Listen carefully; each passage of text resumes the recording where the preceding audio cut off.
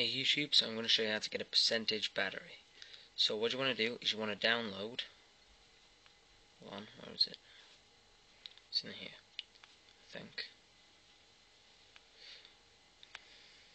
I've lost it. I know what it was. It was in my tweaks. What you want to download is this new battery percentage without 3GS. It's only for, like, yeah, people like us.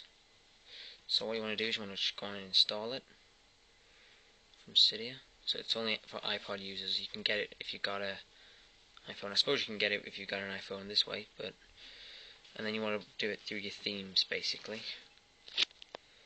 Yeah, you just let that load, and then when it's done, just return to Cydia. Then it'll be in your Winterboard. So what you want to do is you want to just go into there, click on Winterboard and then you want to just uh, modded battery percentage you want to add that. So yeah. Got all my stuff at the top right there. And just leave there. Or respring your device.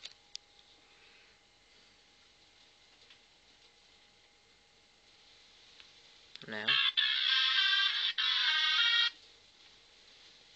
when you go into here, you go into your settings,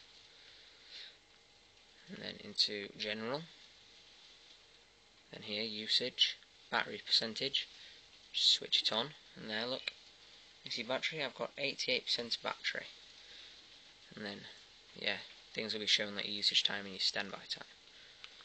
Just go like that, and now we have permanent battery percentage, so it's quite cool. See you later YouTube.